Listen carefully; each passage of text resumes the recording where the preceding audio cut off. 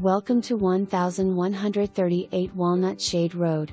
Drive down the long, tree lined driveway and you will sense the peace and serenity of country living. This home is situated on three parcels of land totaling 2.82 acres comprised of a perfect balance of mature trees and open areas. The third parcel has road access to Milchop Lane and can be sold, if the future owner so desires. The main house consists of an open kitchen with dining area, large living room, two bedrooms, two full bathrooms, and laundry room. The laundry room was originally designed to be a third bedroom but was converted to a laundry room.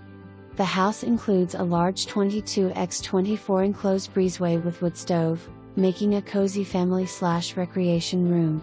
The breezeway connects the main house to the very large workshop and two car garage. This workshop slash garage consists of 1,568 square feet of workspace, workbenches, and built-in shelving and drawers to keep all your tools and equipment, well organized. The workshop has its own propane-fueled heater. The property also has two outbuildings, both with electrical